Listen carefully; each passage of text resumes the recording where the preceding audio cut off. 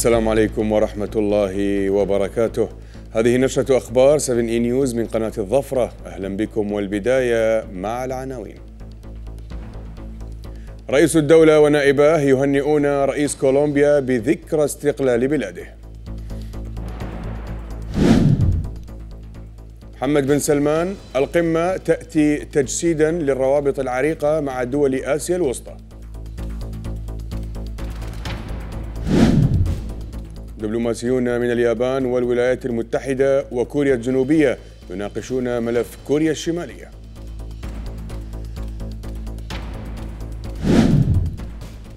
الصين وروسيا تعقدان مناورات مشتركة في بحر اليابان. هذه كانت العناوين وإلى التفاصيل. بعث صاحب السمو الشيخ محمد بن زايد ال نهيان رئيس الدولة حفظه الله برقية تهنئة إلى فخامة غوستافو بيترو أوريغو رئيس جمهورية كولومبيا بمناسبة ذكرى استقلال بلاده. كما بعث صاحب السمو الشيخ محمد بن راشد آل مكتوم نائب رئيس الدولة رئيس مجلس الوزراء حاكم دبي رعاه الله وسمو الشيخ منصور بن زايد آل نهيان نائب رئيس الدولة نائب رئيس مجلس الوزراء وزير ديوان الرئاسة برقيتي تهنئة مماثلتين إلى فخامة الرئيس غوستافو بيترو أوريغو. غادر فخامة رجب طيب أردوغان رئيس الجمهورية التركية الصديقة البلاد اليوم بعد زيارة رسمية إلى الدولة. وكان في وداع فخامته والوفد المرافق لدى مغادرته مطار الرئاسة في أبو ظبي سمو الشيخ منصور بن زايد آل نهيان نائب رئيس الدولة نائب رئيس مجلس الوزراء وزير ديوان الرئاسة. كما كان في وداعه سمو الشيخ حمدان بن محمد بن زايد آل نهيان ومعالي الشيخ محمد بن حمد بن طحنون آل نهيان مستشار الشؤون الخاصة في ديوان الرئاسة ومعالي محمد حسن السويدي وزير الاستثمار وسعادة سعيد ثاني حارب الظهري سفير الدولة لدى الجمهورية التركية. فازت القيادة العامة لشرطة أبو ظبي ممثلة في إدارة الإعلام الأمني بقطاع شؤون القيادة بفئة أفضل حملة إعلامية على منصات التواصل الاجتماعي ضمن جائزة تميز الأعمال العالمية للعام 2023 التي تعد من أبرز جوائز التميز وأكثرها جذبا للمشاركة من منظمات القطاعين الحكومي والخاص في أنحاء العالم. واعترفت الجائزة بالحملة الإعلامية خلك حذر كأفضل حملة حملة تواصلية عالمية على شبكات التواصل الاجتماعي واعتبرتها أكثر الحملات الإعلامية العالمية نجاحا وتميزا على مستوى التخطيط والإعداد وأفضلها تخطيا للتحديات أثناء التنفيذ آخذة في الاعتبار النتائج المؤثرة التي حققتها الحملة في تحقيق الأولويات والأهداف المؤسسية بدءا من موضوع الحملة وأهميته البالغة في الارتقاء بالوعي المجتمعي تجاه الجرائم المقلقة. بحثت هيئة كهرباء ومياه دبي مع وفد رفيع المستوى من شركة سانجرو مزودة أنظمة محاولات التردد للطاقة الشمسية وحلول تخزين الطاقة التوجهات الحالية والأهمية المتزايدة لحلول الطاقة المتجددة في المنطقة وأوجه التعاون والشراكات المحتملة بين الهيئة والشركة لتعزيز اعتماد تقنيات الطاقة النظيفة في دولة الإمارات العربية المتحدة وخارجها. جاء ذلك خلال استقبال معالي سعيد محمد الطاير العضو المنتدب الرئيس التنفيذي لهيئة كهرباء ومياه دبي وفد الشركة الذي ترأسه تشاو رينشيان رئيس مجلس إدارة الشركة. وضم تومسون مينغ نائب الرئيس لحلول الطاقة الشمسية الكهروضوئية والتخزين. ولين تشياي مدير أول إدارة الحسابات الاستراتيجية الخارجية. وقع مركز دبي للسلع المتعددة المنطقة الحرة العاملة على مستوى العالم والسلطة التابعة لحكومة دبي المختصة بتجارة السلع والمشاريع. شراكة مع CG Agrotech الشركة العاملة في مجال السلع الزراعية في نيبال. بهدف زيادة حجم التجارة الثنائية في قطاع السلع الزراعية مع دول جنوب آسيا. ويهدف المركز من خلال هذه الشراكة إلى تسهيل حركة تجارة السلع الزراعية بين دولة الإمارات والأسواق الرئيسية في جميع أنحاء جنوبي آسيا. وتركز الاتفاقية على تنمية سبل التعاون بين مجتمع الأعمال في مركز دبي للسلع المتعددة من جهة وشركة CG Agrotech وشركائها من جهة ثانية وهو ما يعزز التجارة ويسهم في تسهيل الاستثمار وتحسين الوصول إلى الأسواق للشركات الأعضاء في المركز. بحث وفد وكالة أنباء الإمارات وام برئاسة سعاد محمد جلال الرئيسي مدير عام الوكالة سبل تعزيز التبادل الإخباري والتعاون الإعلامي مع المسؤولين في عدد من المؤسسات الإعلامية والصحفية في نيوزيلندا. ومشاركة تلك المؤسسات في الدورة المقبلة من الكونغرس العالمي للإعلام خلال نوفمبر المقبل. جاء ذلك خلال الزيارة التي قام بها وفد وكالة أنباء الإمارات لنيوزيلندا مؤخرا وزار خلالها عددا من المؤسسات الإعلامية هناك في إطار حرص وام على إبرام شراكات متميزة وتعاون وثيق مثمر مع وسائل الإعلام النيوزيلندية. واستعراض ما تمخض عنه الكونغرس العالمي للإعلام بدورته الأولى العام الماضي من توصيات ومخرجات مع شركائها من مختلف أنحاء العالم. شهد منتدى الأعمال الإماراتية التركي الذي انعقد في العاصمة أبو ظبي الإعلان عن اتفاقيتين لتعزيز التعاون بين البلدين في مجال الصادرات وقطاعات التشييد والبنية التحتية والطاقة والضيافة. جاء ذلك بحضور كل من معالي الدكتور سلطان أحمد الجابر وزير الصناعة والتكنولوجيا المتقدمة ومعالي محمد حسن السويدي وزير الاستثمار. شارك في أعمال المنتدى معالي الدكتور ثاني بن أحمد الزيودي وزير دولة للتجارة الخارجية ومعالي البروفيسور عمر بولات وزير التجارة التركي وسعادة عبد الله محمد المزروعي رئيس اتحاد غرف التجارة والصناعة في الدولة وسعادة عبد الله حميد الهاملي رئيس الجانب الإماراتي لمجلس الأعمال الإماراتي التركي بجانب عدد كبير من المسؤولين وقادة الأعمال ورؤساء وممثلي الشركات في كل البلدين. وإلى الأخبار العربية والعالمية.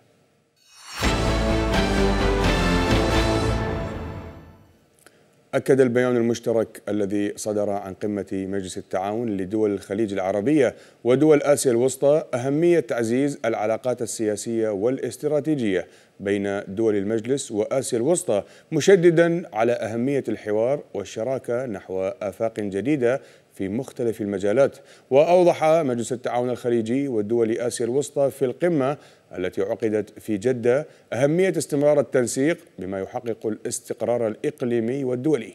نتابع مشاهدينا مقتطفات من البيان الصادر عن القمة.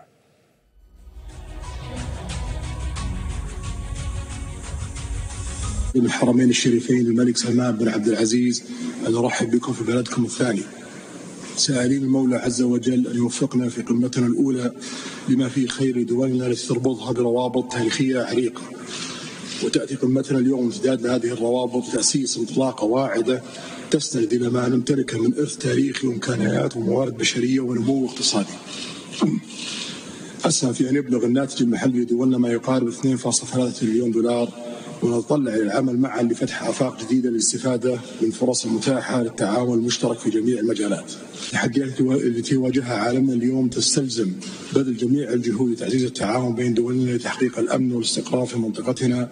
وفي هذا الشأن نؤكد على أهمية احترام سيادة الدول واستقلالها وقيمها وعدم التدخل في شؤونها الداخلية وضرورة تكثيف الجهود المشتركة لمواجهة كل ما يؤثر على أمن الطاقة وسلاسل الإمداد الغذائية العالمية. وإن نبارك اعتماد خطط العمل المشتركة بين مجلس التعاون ودول آسيا الوسطى لمدة 2023-2027 بما في ذلك الحوار السياسي والأمني والتعاون الاقتصادي والاستثماري وتعزيز التواصل بين الشعوب وإقامة شراكات فعالة بين قطاع الأعمال في دولنا لنؤكد استمرارنا في بحث جميع السبل. لندفع العلاقة بيننا نحو مزيد من التعاون الوثيق. يطيب لنا في الختام. أعمال القمة الأولى نتقدم بالشكر الجزيل لمشاركتكم وجهودكم وبذول لإنجاح هذه القمة. سائلين المولى عز وجل أن يبارك جهودنا جميعا وبذلك أعلن ختام أعمال القمة وأرفع الجلسة وأدعو أصحاب السمو الفخامة للانتقال لمأدبة العشاء. بحث الشيخ الدكتور عمار بن ناصر المعلى ملحق ملحق التعليم وعلوم التكنولوجيا لدولة الإمارات في جمهورية مصر العربية مع معالي الدكتور أيمن عاشور. وزير التعليم العالي والبحث العلمي المصري. سبل تعزيز التعاون المشترك بين دولة الإمارات ومصر في مجال التعليم العالي والبحث العلمي. وأكد معالي عاشور على قوة ومتانة العلاقات المتميزة التي تجمع بين دولة الإمارات ومصر على كافة المستويات لا سيما في مجال التعاون العلمي والثقافي والتعليمي والتي تعد نموذجا يحتذى به في العلاقات العربية والإقليمية. أضرمت النيران في السفارة السويدية في بغداد فجر الخميس قبل تجمع في السويد أمام السفارة العراقية يعتزم منظمه إحراق نسخة من المصحف خلاله. وشاهد مراسل فرانس بريس من سطح مبنى في الحي الذي تقع فيه السفارة السويدية. الدخان يتصاعد من مبنى البعثة الدبلوماسية المحاط بعشرات المتظاهرين مع انتشار كثيف لشرطة مكافحة الشغب. كما وشهدت قوات مكافحة الشغب العراقية صباح الخميس وهي تستخدم خراطيم المياه والعصي الكهربائية لتفريق المحتجين وإبعادهم عن السفارة مشيرا إلى أن المتظاهرين رددوا بدورهم برشق القوات الأمنية بالحجارة. اجتمع دبلوماسيون من اليابان والولايات المتحدة وكوريا الجنوبية لمناقشة طموحات كوريا الشمالية النووية والصاروخية وانتهاكات حقوق الإنسان في اليابان. وحول هذا اللقاء قال المدير العام لمكتب شؤون آسيا فيما يتعلق بتعزيز الردع وقدرات الاستجابة أجرت دولنا الثلاث للتو تدريبا ثلاثيا للصواريخ الباليستية ردا على إطلاق الصواريخ الباليستية العابرة للقارات الأسبوع الماضي. وسوف نستكشف طرقا لتعزيز تعاوننا الأمني الثلاثي. نشر وزير الدفاع الروسي مقطع فيديو يعرض التدريبات العسكرية المشتركة التي تجريها كل من الصين وروسيا في بحر اليابان.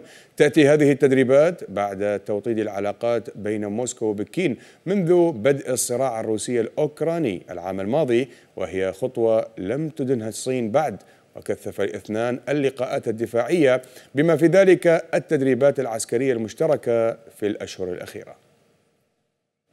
قال مسؤولون بجنوب أفريقيا أن انفجار مجهول السبب هز وسط جوهانسبرغ مما أدى إلى تدمير طريق رئيسي وإصابة 41 شخصا من بينهم اثنان في حالة حرجة. وألقت خدمات الطوارئ باللوم في البداية على أنابيب الغاز تحت الأرض لكن شركة إيجولي للغاز أكدت أنه من غير المحتمل أن يكون الانفجار الذي تسبب في تشقق الممر وقلب المركبات ناتجا عن خط أنابيب غاز أو تسرب.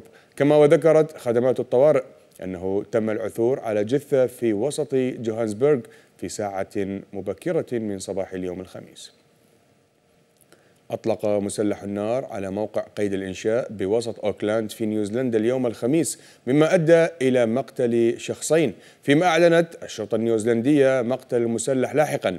ويأتي هذا الحادث تزامنا مع افتتاح بطولة كأس العالم للسيدات التي تستضيفها نيوزيلندا وأستراليا كما وأعلن المنتخب الأمريكي المقيم حاليا في أوكلاند المدينة التي وقع فيها الحادث أن جميع لاعبيه وموظفيه بأمان. أما الآن فإلى مقال اليوم.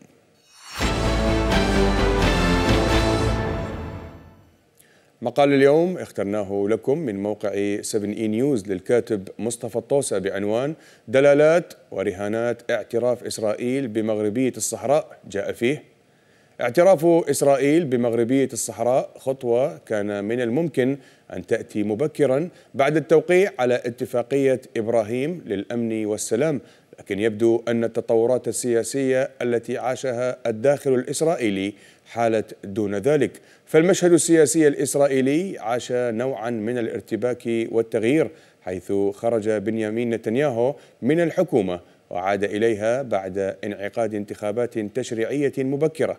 هنالك من يبرر هذا التأخير باحتمالية رغبة الحكومة الإسرائيلية بمفاوضات ثنائية مع المملكة المغربية وانتزاع تنازلات إضافية منها قبل الإعلان النهائي بالاعتراف الرسمي.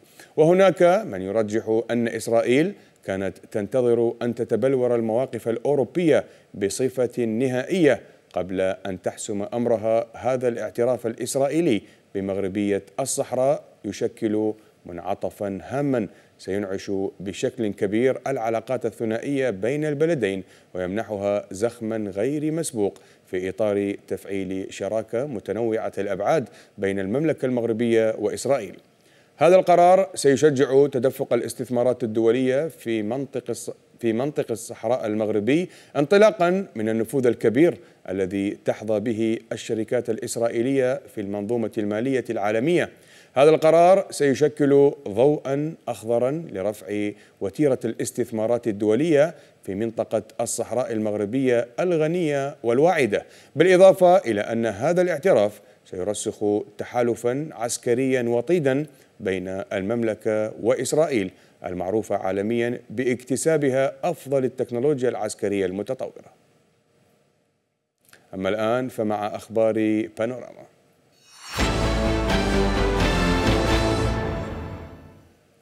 تم العثور على حوالي 300 بطريق ميتا على شاطئ بونتا في الأوروغواي وصرح مؤسس أحد جهات النفع العام المتخصصة في الإنقاذ ريتشارد ديسور أن سبب هذه الخسارة هو نقص الغذاء الذي يعزى إلى الصيد الجائر حيث أن الحيوانات هزيلة للغاية.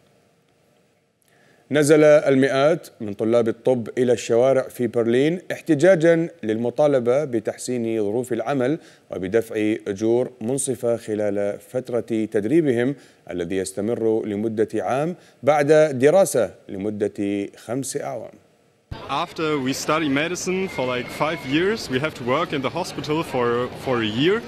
And at the moment, there's like no pay. So that's really unfair. Here at Charité, the, the students get zero, zero euros. They get nothing. And if you uh, look at all of Germany, you get around about uh, two euro fifty cents for about an hour of work.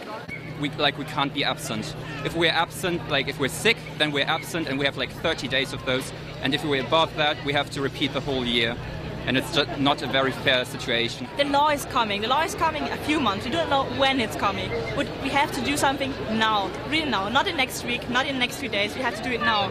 Because when the law is done, we do not have any possibility to change it. We have to say the policy, the health policy, that we need that, that we need that to be a good medical doctor afterwards. We need this education and we need to get paid. And that's the reason because we do it now. وإلى كاريكاتير اليوم اخترناه لكم من جريدة الاتحاد الإماراتية بريشة الفنان شريف عرفة.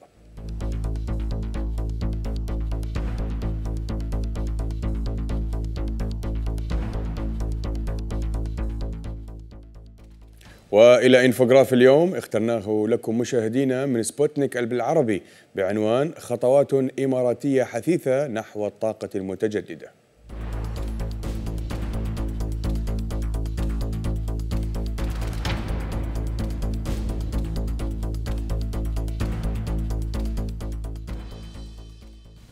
وإلى تغريدة اليوم اخترناها لكم من مكتب دبي الإعلامي بعنوان جامعة محمد بن راشد للطب والعلوم الصحية جزءا من مؤسسة دبي الصحية الأكاديمية أول نظام صحي أكاديمي في إمارة دبي.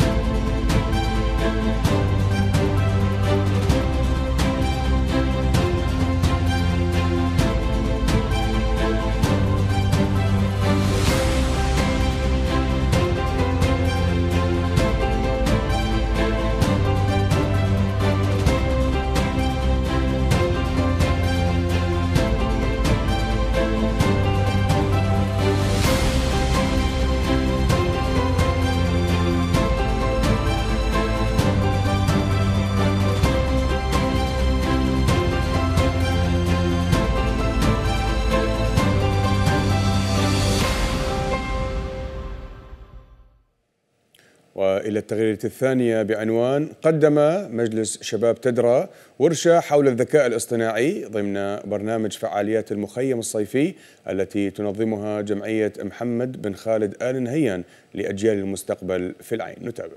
معاكم المهندس عمر السويدي من هيئة تنظيم الاتصالات والحكومة الرقمية. اليوم نحن في جمعية محمد بن خالد آل نهيان لأجيال المستقبل. قدمنا ورشة توعوية عن الذكاء الاصطناعي للأطفال والمشاركين في فعاليات الجمعية.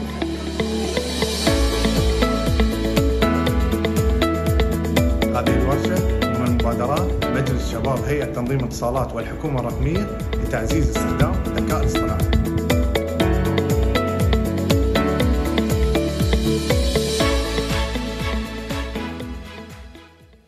وإلى حديث الكاميرا لهذا اليوم إذ تستمر فعاليات صيف أبو ظبي حتى العشرين من أغسطس القادم وتعد هذه الفعالية الأكبر من نوعها في منطقة الشرق الأوسط.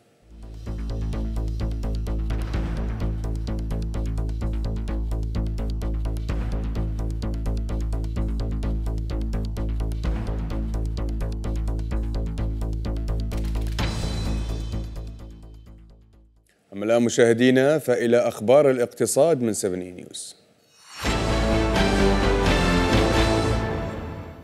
أعلنت كوناريس ثاني أكبر منتج, منتج للحديد ضمن القطاع الخاص في دولة الإمارات عن إبرام شراكة مع سي أن دي وتركز على خدمات عمليات سلاسل الإمداد وتطوير المشاريع العقارية وتتخذ من مدينة شيامن الصينية مقرا لها. ومن شأن التعاون بين الطرفين أن يمكن الشركة الصينية من توزيع منتجات الفولاذ الصيني عالي الجودة في الدول الأعضاء بمجلس التعاون الخليجي وذلك انطلاقا من الإمارات بما يعزز الروابط التجارية بين الصين والمنطقة. وجرت مراسم التوقيع الرسمية للشراكة بين الجانبين بمقر مصنع الحديد والصلب التابع لشركة كوناريس رفع البنك المركزي التركي الخميس للشهر الثاني على التوالي معدل الفائدة الرئيسي من 15% إلى 17.5%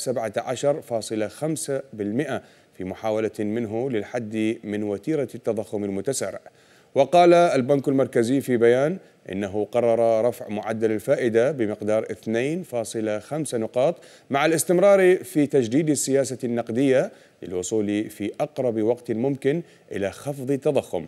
وأوضح, وأوضح المصرف في بيانه أنه سيواصل تدريجيا تجديد السياسة النقدية إذا لزم الأمر إلى حين حدوث تحسن كبير في توقعات التضخم.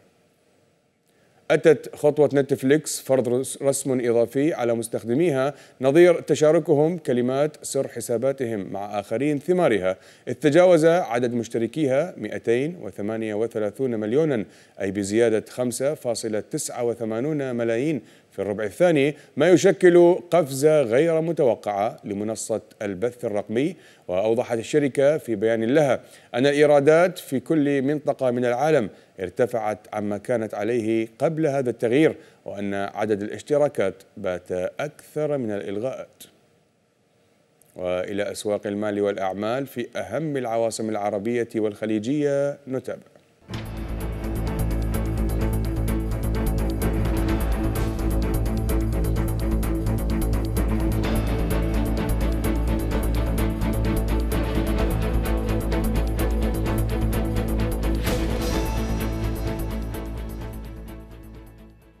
النشرة مستمرة وإلى أخبار الرياضة من 7 إي نيوز.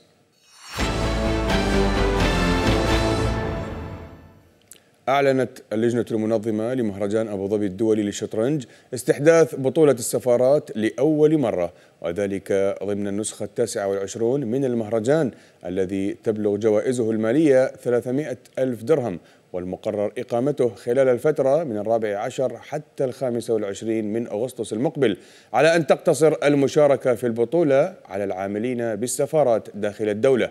وأكد حسين عبد الله الخوري رئيس مجلس إدارة نادي أبو ظبي للشطرنج والألعاب الذهنية رئيس اللجنة المنظمة للمهرجان اكتمال كافة الاستعدادات لإنجاح المهرجان والذي يشتمل على منافسات بطولة الأساتذة الرئيسية والبطولة المفتوحة وبطولة الناشئين تحت 16 سنة.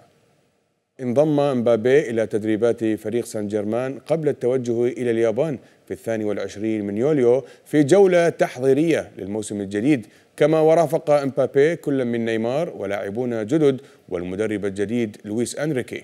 ويعقد هذا التدريب مع ترقب الجماهير للأحداث الجارية بين نادي باريس سان جيرمان ومبابي حيث توعدت إدارة النادي باستبعاده من التدريبات الجماعية وإرساله إلى المدرجات. ومن المتوقع أن أن فترة تواجد مبابي في اليابان حاسمة في مسألة هذا الخلاف وهي التي ستحدد استمراره مع النادي أو الانتقال. وعن أحوال الطقس في بعض من الدول العربية والعالمية.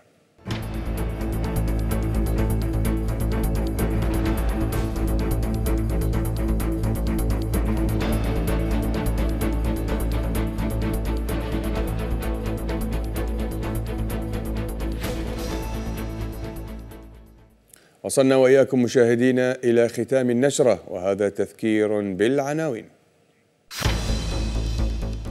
رئيس الدولة ونائباه يهنئون رئيس كولومبيا بذكرى استقلال بلاده.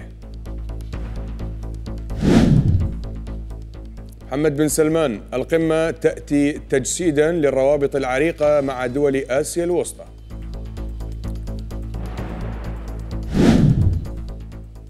دبلوماسيون من اليابان والولايات المتحدة وكوريا الجنوبية يناقشون ملف كوريا الشمالية.